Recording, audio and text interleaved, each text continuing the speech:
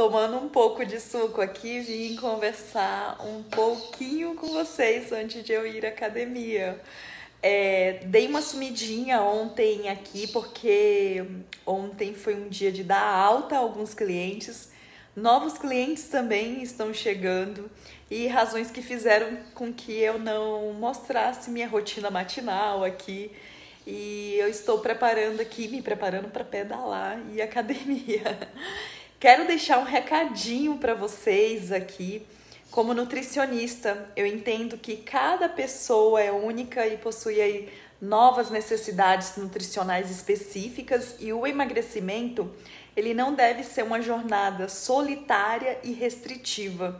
Você pode incluir os alimentos que você ama e que é, inclusive, eu até mostrei refeições livres, né? Então, nessa jornada aí do processo de descoberta, o que funciona melhor para o seu corpo e também para o nosso estilo de vida.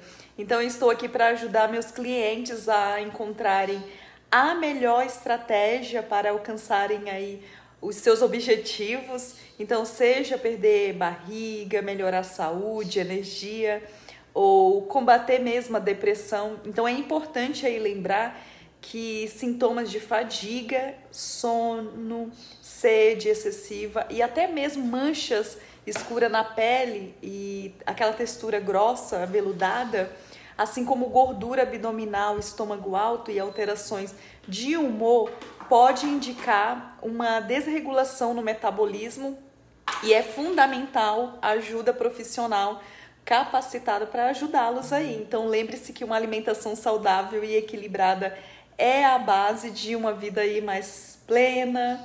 Então, bom sábado.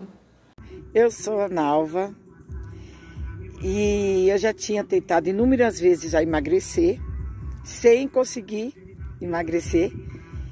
E daí eu vi no Facebook um anúncio da Ana, adicionei a Ana e consegui emagrecer 4,7 kg. Se eu conseguir emagrecer, vocês também conseguem, viu?